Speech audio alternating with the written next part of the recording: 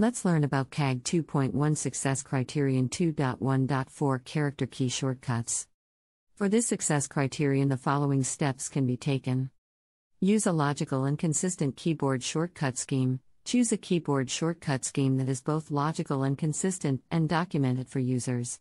Ensure that keyboard shortcuts are user configurable. Provide users with the ability to configure or disable keyboard shortcuts to meet their needs.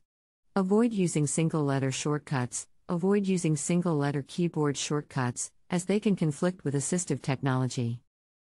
Clearly describe keyboard shortcuts, provide clear and concise instructions for using keyboard shortcuts, and include this information in the documentation for the web content. Test keyboard shortcuts. Regularly test keyboard shortcuts to ensure that they are functional and accessible for all users. In the above example, each button has an access key attribute, which defines a keyboard shortcut that can be used to activate the button. The H key will activate the Home button, the A key will activate the About button, and so on.